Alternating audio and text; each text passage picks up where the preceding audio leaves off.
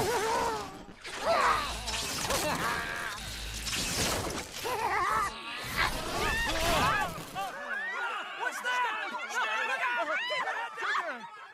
thinking he's this way. This looks promising. Hmm? Huh?